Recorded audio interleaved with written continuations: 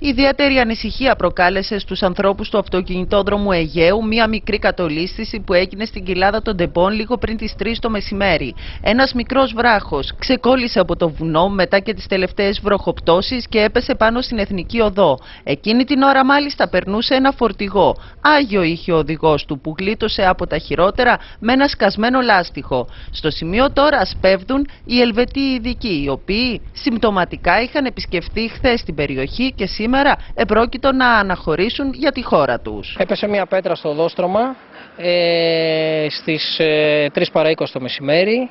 Ένα βαρύ όχημα το οποίο περνούσε από το σημείο χτύπησε στην πέτρα και έπαθε λάστιχο.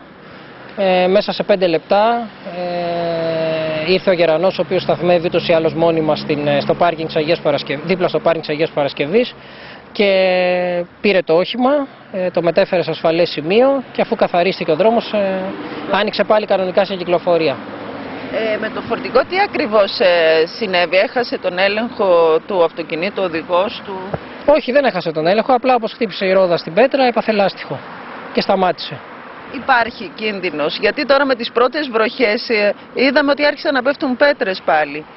Αυτή τη στιγμή εκτιμούμε την κατάσταση και νεότερα θα έχουμε αργότερα σήμερα. Η σημερινή κατολίσθηση ξύπνησε άσχημες μνήμες, αφού τον περασμένο Δεκέμβρη από κατολίσθηση στην κοιλάδα των Ντεμπών έχασε τη ζωή του ένας άνθρωπος, ο Ιταλός μηχανικός του έργου. Με ενδιαφέρον τώρα αναμένονται οι εκτιμήσεις των Ελβετών, ενώ σίγουρα δεν είναι ανύπαρκτος ο κίνδυνος να κλείσει και πάλι ο δρόμος αν παραστεί ανάγκη για την ασφάλεια των διερχόμενων οδηγών.